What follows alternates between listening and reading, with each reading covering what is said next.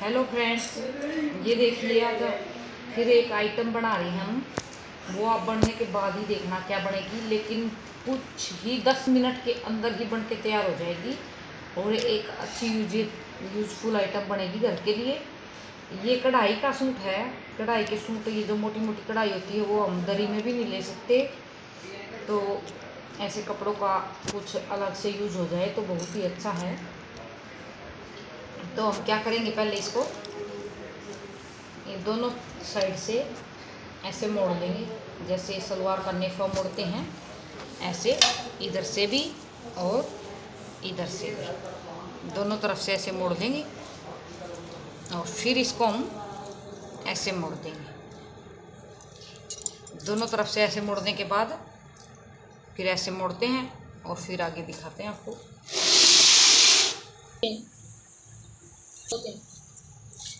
ये देखो जी, दोनों तरफ़ से ये नेफा मोड़ लिया मैंने, और इसमें ये नाड़ा डाल दिया, और नाड़ा का लगा दी गांठ।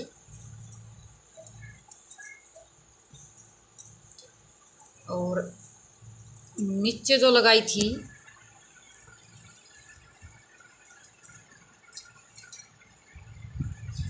नीचे ये नाड़ा डाल के और जितना खींचा उतना खींच के गांठ मार दी। और ये इस तरफ़ फिर नड़ा।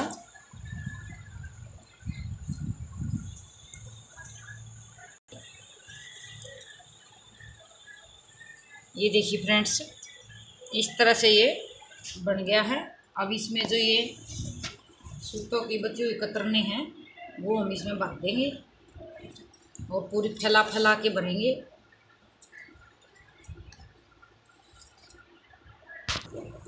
ये देखिए फ्रेंड्स, इसमें कपड़ा मैंने भर दिया और अब इसको हम पूरा खींच देंगे।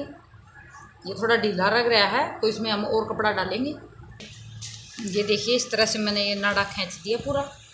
और ये देखिए बैठने के लिए एक अच्छी गद्दी बन गई, पाटड़ी की जगह हम ये पुराने कपड़े का यूज़ करके और गद्दी बना सकते हैं। एक अच्छा आइटम कुछ ही मिनटों में, सिर्फ़ दस मिनट से भी ऊपर नहीं लगेंगे और इसमें बहुत सारा पुराना कपड़ा आ जाएगा। और ये जो नाड़ा है, ये इसके अंदर ही हम डाल देंगे। काटने की ज़रूरत भी नहीं है।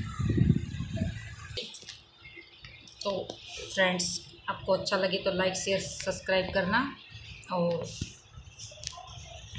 तब तक हम मिलते हैं अगली वीडियो में। तब तक के लिए राम राम।